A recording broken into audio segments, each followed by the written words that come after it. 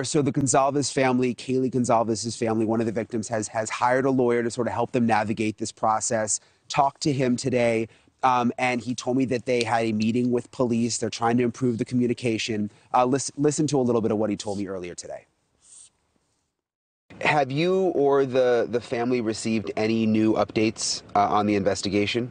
Well, part of our delay was we met with the investigators yesterday. We met with uh, the prosecutor of the investigators, um, uh, Chief Fry, um, and had a meeting with all of them. Um, part of our uh, that meeting, actually, the the kind of the theme of the meeting was two things: was accountability um, and communication. We had a lot of questions that we went in with.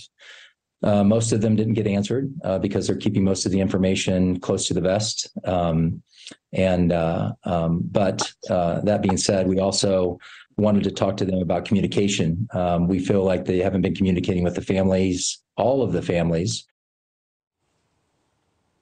So they are trying to have better communication. He mentioned, you know, the families were frustrated. They were learning about things through press releases, and they're hoping now uh, that they'll have a more open dialogue. And they and they did. He did basically tell me right now they are they have faith in the investigation and they are hopeful. Okay, well, Brian, thank you for that. Thank you for watching. Go to newsnationnow.com to find News Nation on your television provider. And don't forget to click the red subscribe button below to get more of News Nation's fact driven, unbiased coverage.